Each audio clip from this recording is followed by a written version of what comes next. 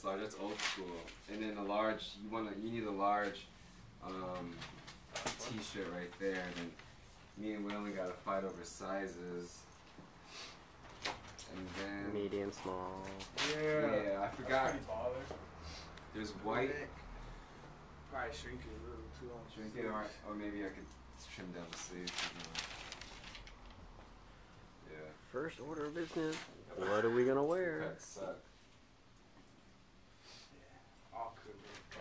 Is small. So here goes. So hard to find